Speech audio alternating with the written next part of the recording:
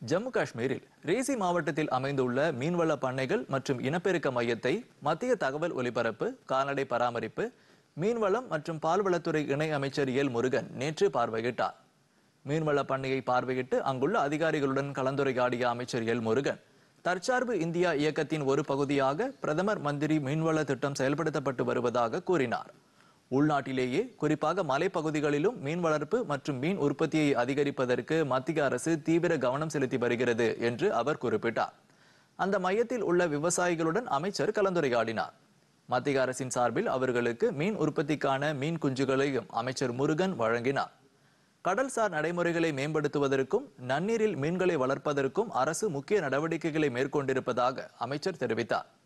கடந்த இரண்டாயிரத்தி பதினான்காம் ஆண்டுக்கு பின்னர் எட்டு ஆண்டுகளில் முப்பத்தி இரண்டாயிரம் கோடி ரூபாய் மீன்வளத்துறைக்கு முதல் முறையாக மத்திய அரசு ஒதுக்கீடு செய்து திட்டங்களை நிறைவேற்றி வருவதாகவும் அமைச்சர் எல் முருகன் குறிப்பிட்டார்.